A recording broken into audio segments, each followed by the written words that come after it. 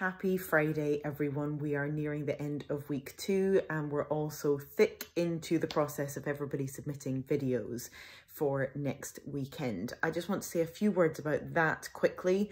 Um, if you're finding the process of recording something uh, difficult, you find that you get frustrated when something goes wrong and you are um, getting impatient with yourself, I just want to say a couple of things about that. First of all, you are in a vast majority. Lots and lots of people have that experience when they're recording. So don't feel like you're alone and why is this happening to me?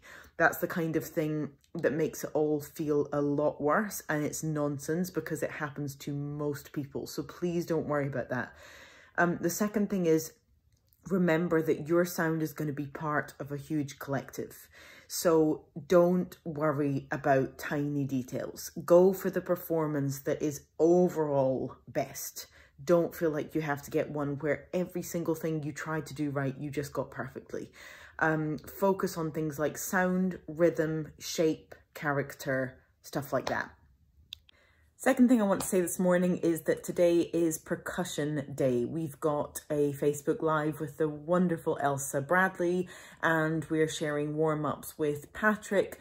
The two of them, Patrick King and Elsa Bradley, they have been taking the um, percussion general musicianship sessions, everything to do with rhythm and also the percussion Paganini improvisation.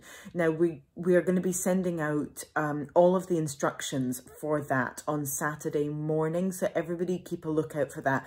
But today and tomorrow morning are your times to really absorb as much as you can about that. This is the part that there's a huge range of layer in terms of what people can get involved in. So there's obviously the more complicated rhythms that they'll be encouraging people who really play percussion to do, but there's so many things that every member of the family can get involved in and that you can literally use whatever is in your house. So I want to see the most creative entries and um, sharing of those, uh, those creative percussion exercises.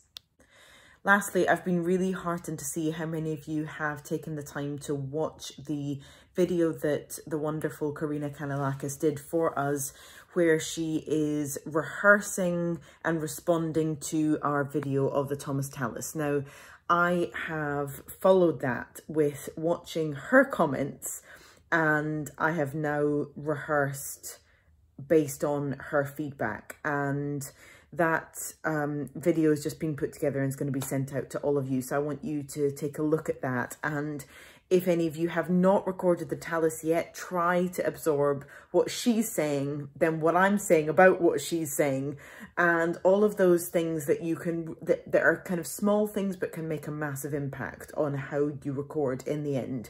And if we all do that, I think the Tallis will sound even better and she'll be even happier with how it sounds.